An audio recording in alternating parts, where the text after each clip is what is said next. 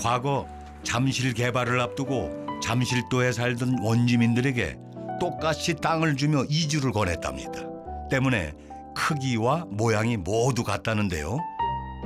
그 지금 여기가 또 원래 원주민들이 일로 이주해 오시면서 정부에서 이 땅을 분양받은 거군요. 그렇죠. 좋죠. 그 말하자면 이주하라고 그래가지고 이렇게 30평씩 배정을 해준 거예요. 그러니까 잠실도는 한강 상류에서 내려온 모래와 퇴적물이 쌓여 형성된 하천 내부의 섬이었답니다. 그곳엔 세내, 잠실, 부련마을 이렇게 세 마을이 있었다는데요. 잠실도가 육지가 된 것은 1970년대 잠실지구 종합개발 계획을 시행하며 육지가 되었습니다. 현재 이곳엔 대규모 아파트 단지와 상업 지역이 형성됐습니다.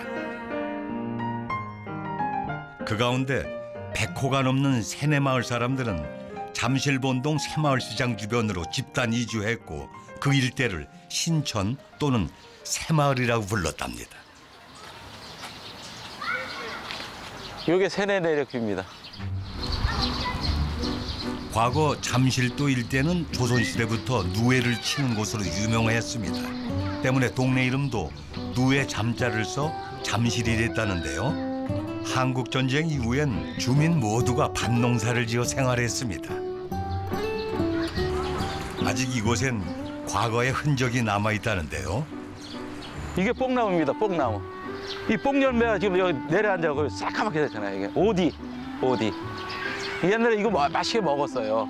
우리 동네 이제 상징하는 나무죠. 우리 동네 잠실을 상징하는.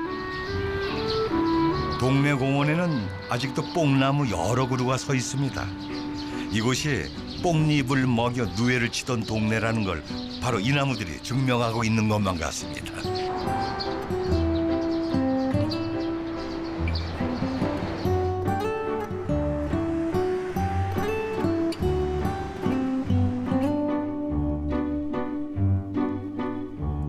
새마을 시장에서 그리 멀지 않은 곳에 자리 잡은 석천호수.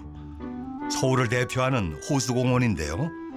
송파대로를 기준으로 동호와 서호로 나뉘며 사계절 색다른 정취를 느낄 수 있습니다.